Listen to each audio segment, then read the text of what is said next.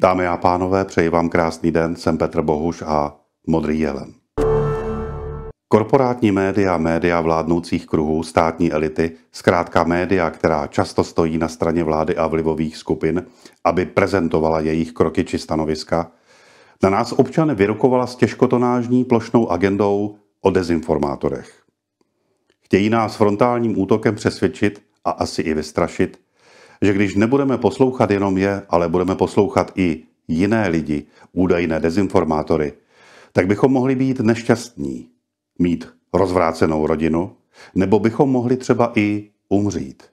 I takové příběhy z doby covidové nám předkládají. Kdybychom však začali zkoumat, jak novináři přišli na to, že někdo umřel, protože si například nedal roušku nebo vakcínu, možná bychom zjistili, že se nevždy opírají o doložitelná fakta, ale že svá tvrzení mají často postavená na dojmech.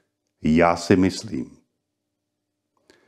Tak to chtějí vidět svět, přičemž nejsou schopni rozlišit, že realita může být zcela jiná. Ivana Svobodová, novinářka týdeníku Respekt. V červnu přinese aktuálně CZ velký projekt o dezinformacích. Jak se mění dezinformační scéna? Co ji živí a jaký má dopad na konkrétní příběhy, na konkrétní lidi? Zeptáme se novinářky, která pokrývala demonstrace, kde mnohdy i z pódia zaznívají dezinformace. Vítej ve Spotlightu, Ivano. Ahoj, dobrý den. Ničí dezinformace životy? Naprosto nepochybně. Zblízka viděno. Životy nám ničí především propaganda, cenzura a novinářský aktivismus na místo hledání pravdy. Korporátní média, která s největší pravděpodobností nevědí, co jsou dezinformace, zavelela do útoku proti dezinformacím. Nám občanům chtějí říct, my jsme ti dobří a pravdiví, nám musíte věřit. Vy, kteří máte spoustu otázek, vy jste dezinformátoři, protože vy se moc ptáte, pochybujete nahlížíte na události ze všech možných úhlů pohledu. Nechcete vidět věci a události černobíle. Do naší práce nám vrtáte a vnášíte chaos do společnosti. Kdo však vnáší chaos do společnosti? Ten, kdo se ptá a pochybuje, a to i za cenu omylu? Nebo ten, komu je všechno hned jasné, s každými okamžitě vyřízen a druhé názory onálepkuje a odsoudí? Myslím, že dezinformace ničí i životy lidí, kteří o tom nevědí, kteří vlastně jim podléhají. Protože možná nemusí mít pocit, že mají zničený život, asi ho třeba nemají zničený, nechci přehánět. Ti lidé, kteří vlastně věří těm falešným zprávám, jsou zkrátka jenom nástrojem. Jsou, oni se domnívají, že jsou samostatně uvažující lidé, kteří odhalili, jak funguje svět, ale viděno v celku a v tom, komu to slouží, i tihle lidé mají ten život pošramocený tím, protože jsou prostě figurky, se kterými někdo uh, manipuluje. Paní novinářka má pravdu v tom, že lidé ve velkém začínají odhalovat, jak funguje svět. Učí se poznávat falešné zprávy a začínají se bránit tomu, aby byli figurkami, s nimiž někdo manipuluje. Viděli jste na druhé straně, že sama paní Svobodová nemá jasno, když říká, že lidé mají zničený život z dezinformací a v zápětí dodává, možná ho ani zničený nemají. Co je pravda a co dezinformace? Mají zničený život nebo nemají? Vypadá to, jako by novináři korporátních médií mluvili a psali sami o sobě, když se vyjadřují o dezinformátorech, píší o klamavých zprávách, účelových lžích a manipulaci. Jakoby sami produkovali dezinformace, když píší o tom, že zhruba třetina Čechů alespoň některým dezinformacím věří a asi desetina jim zcela podléhá. Jak na tyto počty a závěry přišli? Vždyť s nejvyšší pravděpodobností sami nemohou vědět, co je a co není dezinformace. Jak to mohli spočítat? Věrohodné statistiky dezinformací by mohly vyrábět přece jen v případě, kdyby proskoumali a věděli, co je a co není dezinformace. Tyhle snahy prostě slouží jako vlastně tomu ruskému narrativu. Všechny ty uh, lži nebo manipulace jsou namířeny proti Západu, Americe, NATO, naopak oslavují uh, prostě ruské vidění světa nebo Putinovo, uh, mnohdy Čínu. Neexistuje tady žádná dezinformační scéna, která by byla namířena proti východu, špatně řečeno proti Rusku, ale úplně všechno je namířeno proti západu, Americe, eh, Evropské unii, eh, nějakým rozvinutějším prvkům demokracie, řekněme, nebo nějakým novým věcem, které demokracie nebo vývoj světa přináší. Kdybychom měli použít vidění světa podle paní novinářky, museli bychom říct, že je dezinformátorka, když z jejich úst slyšíme, že snaha odkrývat pravdu je ruským narrativem. Kritika Ameriky a Západu jsou dezinformace. Kritizovat naši společnost je automaticky ruské vidění světa.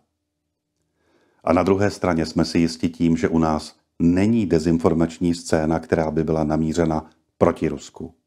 Opravdu? Co o dezinformacích mohou vědět korporátní novináři? Už proskoumali, jestli tečka je tečkou, zabývají se vedlejšími účinky vakcín, historickými i aktuálními souvislostmi konfliktu na Ukrajině, zkoumají ze všech stran hospodaření vlády, příčiny inflace, drahých energií. Snaží se vidět veškeré události pohledem všech zainteresovaných v rámci všech událostí, v souvislostech, anebo víceméně papouškují narrativy vlády a na ně napojených odborníků, neziskových organizací a dokonce i jednotlivců, kteří ve skutečnosti ani pořádně nevědí, o čem mluví. A někdy mají i potíže se spořádaným životem. Ale to znevěrohodňování těch novinářů roste a myslím, že teď už jsme se prostě posunuli. Už ano, Česká televize stále vede v tom, v tom, eh, v tom pocitu lidí, kteří podlehli těmhle dezinformacím, že je největší lhářka na světě, která si bere nějaké tajné peníze od nějakých tajných lidí, aby nás balamutila ale už to přeskočilo i jako na další média a to v silné míře. Korporátní novináři se diví, ale jejich znevěrohodňování roste oprávněně.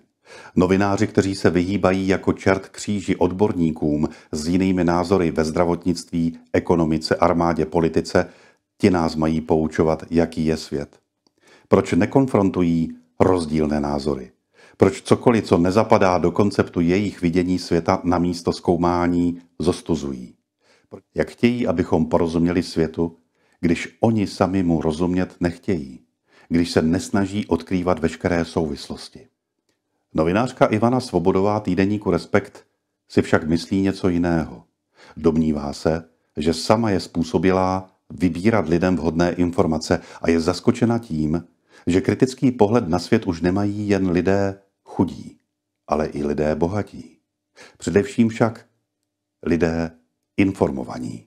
Před jsem si myslela, že se musíme více starat, protože samozřejmě, že to eh, ty dezinformace chtěla jsem říct mají, ale už se nejsem úplně jistá, minimálně měly větší dopad na lidi, kteří jsou z nějakých, eh, jako mm, řekněme, eh, regionů, kde se jim třeba nežije, nežije tak dobře, jako v jiných regionech, nebo aspoň mají ten pocit, že se jim nebo nemají tolik možností, nebo nemají takový sociální zázemí a, a tak dále.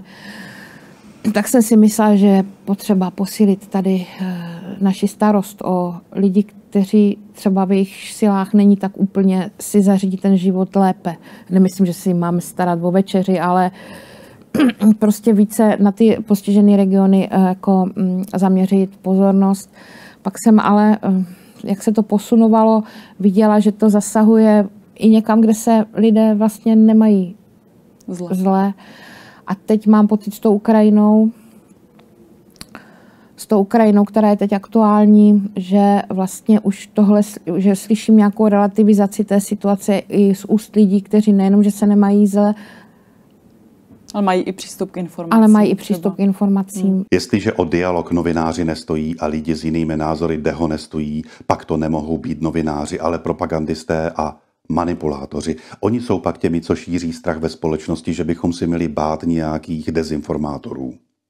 Ve skutečnosti sami světu nerozumějí, jak mohou chtít, abychom byli závislými na tom, co nám řeknou, když máme svůj vlastní rozum, zkušenosti a stále více informací, což je dobře protože dezinformátorů a dezinformací se může bát jen neinformovaný člověk.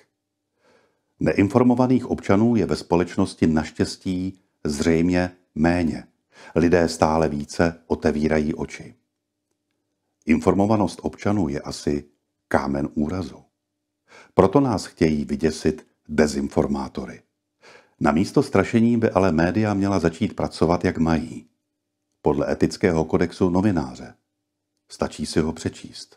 Prostě není to samozřejmě nějaké, my, my víme z čísel, že stále existuje u nás podpora Ukrajiny, ať už uprchlíků u nás, nebo Uh, nebo nejsme na tom zkrátka jak na Slovensku, které je už úplně, ale, ale úplně vykolejeno těmi dezinformacemi. Ale stejně už to slyšíte v taxiku, už to slyšíte u pokladny i v Praze, i v Brně, i uh, prostě ta relativizace, ta relativizace, jako Bůh ví, jak to bylo, Bůh ví, jak to je a Bůh ví, co se má jako Eh, ta, ta už prostě postupuje podle mě i dál a já nevím, co by se s tím mělo stát.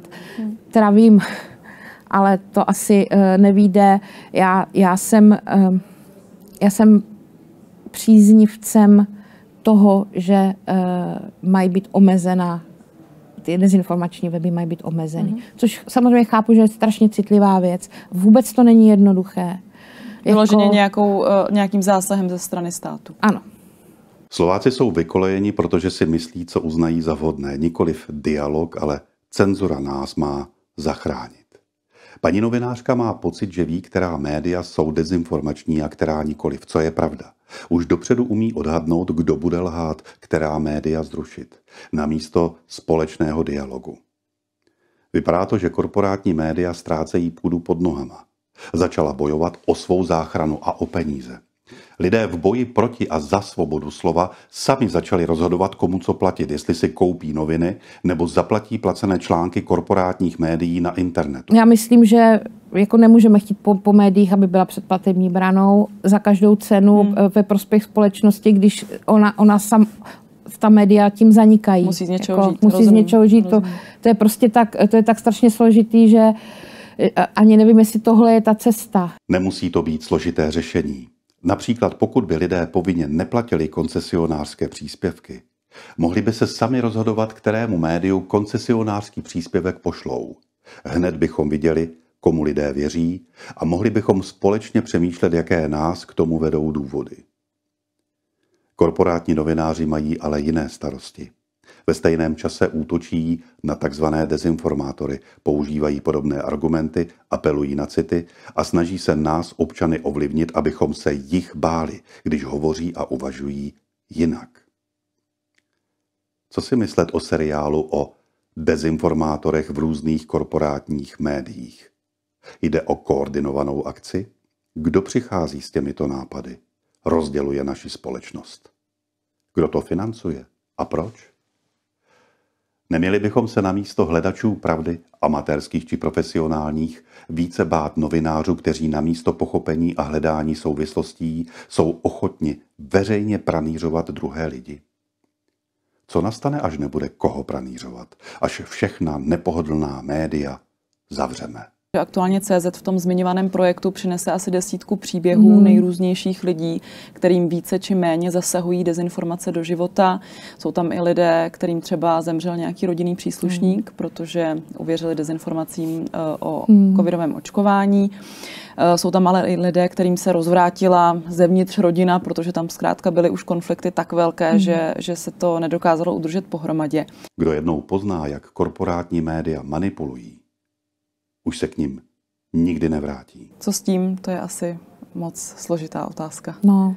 V těch rodinách jako myslím, jestli, jestli skutečně jo. se pokoušet spolu mluvit, anebo třeba spolu naopak o uh, potenciálně kontroverzních tématech nemluvit a snažit se třeba naladit na nějakou konsenzuální linku v těch rodinách. Tak tam jde o to, co člověk a jak moc blízký je to vztah a co Jasně. člověk jako upřednostňuje. Naštěstí máme více informací z různých zdrojů, z domova i ze světa a lidé sami stále více odhalují, kdo říká pravdu, kdo se mílí, kdo nám záměrně zamlčuje informace nebo kdo nám dokonce záměrně lže.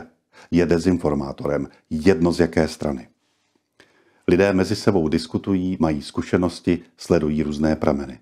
Vědí, že naslouchat druhým lidem, snažit se je pochopit, vést dialog, je základem demokracie. Dehonestovat lidi s jinými názory, dělat z nich dezinformátory a vést monolog je totalita. Letos si získala cenu Ferdinanda Peroutky, jsi velmi zkušená novinářka, tak mě zajímá, jestli tě něco ještě překvapí, třeba i na těch demonstracích. Um, no, to není agresi, že mě někdo zbil, ale stalo se mi, že mě zastupují cestu, vyhrožují, eh, já nemám v ruce nic, že jo, jenom nahrávadlo, ale někdy je se mnou fotograf, eh, vyhrožují, že prostě mm, něco udělají s tím foťákem, eh, který je jako dráždí. A je to slovní agrese, je to slovní agrese a urážky, ano, to zažívám. Hmm. Cena Ferdinanda Peroutky je novinářské ocenění, které bylo uvedeno u příležitosti z tého výročí narození českého novináře a publicisty Ferdinanda Peroutky. Cena vznikla v roce 1995 a jejím smyslem bylo zvýšit prestiž práce novinářů a publicistů. Vyznamenaní by měly mít vlastnosti, které jsou oceňovány na Ferdinandu Peroutkovi. Naprostou bezúhonost, vysokou mravní integritu a osobní zodpovědnost za společenské důsledky svého publicistického působení. Práce laureátu má mít mimořádnou úroveň, a musí vycházet z demokratické orientace. Mějte se hezky.